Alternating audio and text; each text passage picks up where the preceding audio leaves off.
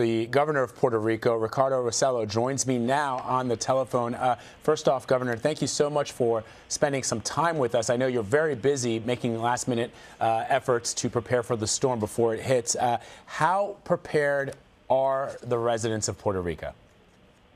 Well, th- thank you for the opportunity, Vlad. Um, I, uh, our expectation is that we are very prepared. We've uh, been working on uh, contingency plans since we assumed office uh, about eight months ago. Uh, we implemented an emergency protocol about a week ago.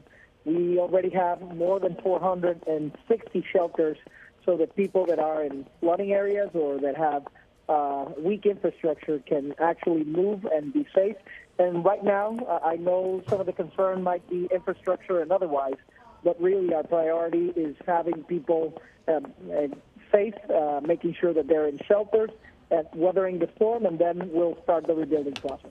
Uh, and, and, Governor, I don't know if, because of the size of the island of Puerto Rico, if uh, putting into place evacuations, mandatory evacuations, is feasible. But is that something that has been considered? Yes, I've, I've implemented a mandatory evacuation protocol. Uh, luckily, uh, right now, when the people see the uh, uh, public officials understand the National Guard and our police force, uh, they they tend to work with them, but uh, we have implemented uh, um, an emergency protocol.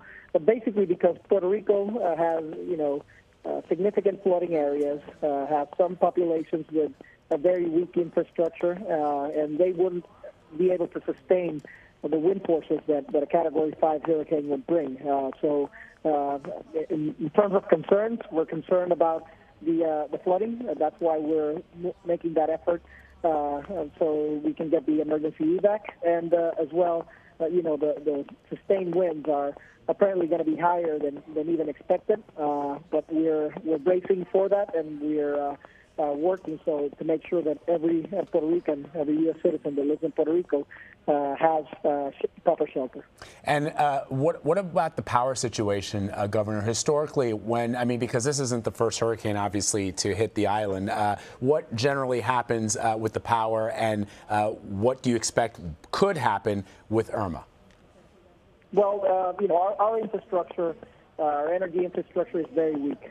since we assumed office a couple of months ago, we've been working on plans to make sure we can get some some investments, uh, working with the private sector, so that we can develop a new infrastructure that would basically give us reliable energy and that would give us uh, more competitive energy.